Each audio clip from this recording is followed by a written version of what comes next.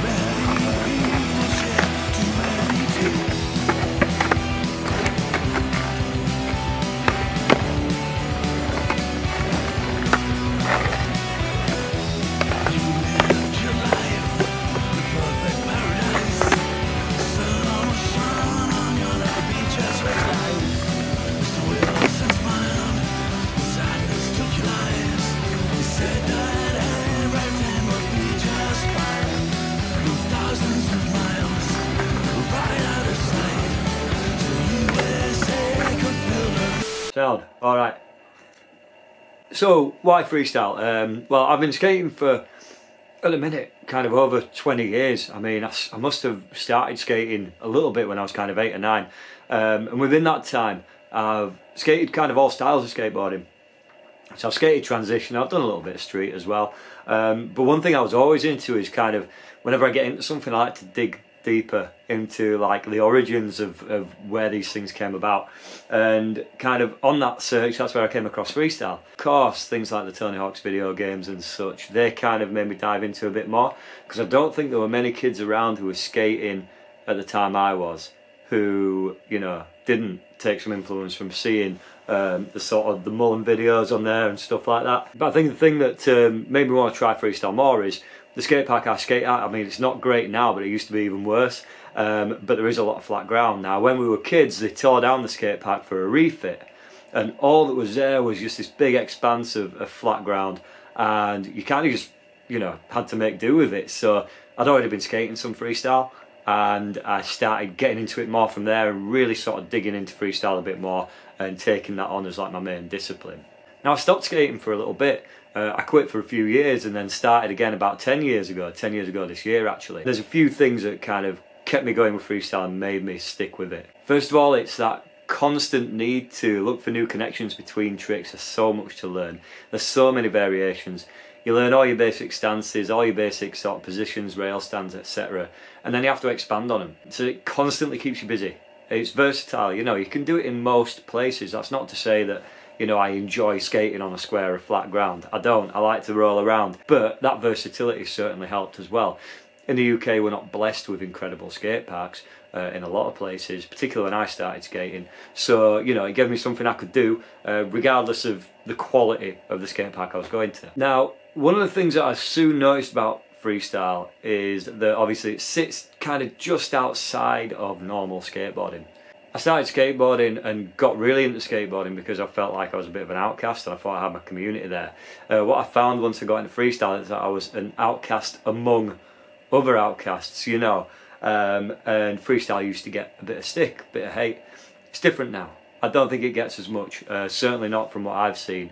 Uh, and I kind of interact with a lot of different skateboarders through my work on a, on a daily basis. You know, there's times where it's difficult, you get ripped on and stuff like that, but none of that is important because even when you feel like an outcast, uh, freestyle helps you find your community, or it did with me anyway. Now I know the skate community is supportive as well, but I feel like freestyle has something different. I think that everyone within freestyle is an activist. Everyone is making their own efforts to grow the scene, to do more with it, uh, and to get more people into it, which I think is amazing. You don't always see that in other facets of skateboarding. I can honestly say that some of the, the most rounded, best people that I've met that are still my friends now, uh, the people who I've met through freestyle. Like the community's been incredibly supportive, um, and genuinely, I don't know where I'd be if I hadn't have found that community in the first place. Another thing I really liked about freestyle, it's a different approach. It's something you don't always see. Uh, it's quite niche, and I'm quite into niche things. You know, I do things like fossil hunting, but very specific things around that. That niche kind of hobby thing appeals to me, and it has that really punk DIY element to it. Um, you know, every freestyle company pretty much is owned by a freestyler. Contests are set up by freestylers. Near enough every freestyler has like a YouTube channel where they're trying to encourage more people to get into it and to spread information. I like that. I think that's really cool. Other reasons it might be good for you to try freestyle is because it, like I say, it represents that alternative. You don't have to be hurling yourself down a stair set. You don't have to be like, you know, airing out of a quarter. Skateboarding doesn't have to be that. You can have that alternative, and freestyle offers that. Particularly to those, and I don't mean this in a bad way, but to those who might be um, a bit more averse to risks and maybe, you know, a little bit more fearful of certain aspects of the really gnarly side of skateboarding. Freestyle offers that opportunity to still partake, but without having to do it in that sort of route that is most often kind of marketed to us where you know it has to be gnarly, it has to be like oh big ramps, all this lot. It doesn't need to be that. Freestyle gives that alternative to those who maybe want to look for something different or maybe who feel that getting down ramps and stuff just isn't their thing. If you're looking to get into freestyle, uh, I would say attend some events. Get out and meet people. Uh, it's all good and well me saying like, oh, the community is this and this and this, but unless you go out and see it for yourself, you're not gonna, you know, you're not gonna know. It's it's. Don't take my word for it. Is what I'm saying. Go out and uh, and meet some people. We run jams here in the UK fairly regularly, um, and a lot of people that we get at freestyle jams, we're all quite similar. We're quite nervous maybe around other people. We're quite socially awkward a lot of the time. And I don't think that's a bad thing, alright? I think it's just a case of us finding our community and freestyle has helped a lot of people to do that. So regardless of ability or anything like that, freestyle jams offer a opportunity for us all to get together and just bond over something that we really, really enjoy. And that's one of the things that got me into skateboarding in the first place. There's probably a million things that I've forgotten to say because there always is, because I come to do these videos and I don't go in with a script. Uh, you know, there's probably tons of other benefits, I think. And I genuinely think that the benefits that other people get from it as well. So don't take my word for it ask other freestylers, go talk to them, go chat with people out in the community, go meet some people, get involved, um, and hopefully you will get the same benefits that I managed to reap from freestyle, which is that sense of community, that sense of belonging, and at the heart of it, something that is fun and enjoyable. Because when it's not fun anymore, it's time to quit. Cheers for tuning in, guys. I hope to see everyone at the Thunderdome in January and some other contests coming up. Um, Drop your reasons why you started skating freestyle in the comments. I'd love to hear them. And let's catch you up soon. Have a skate. Enjoy yourself. Bye. Bye.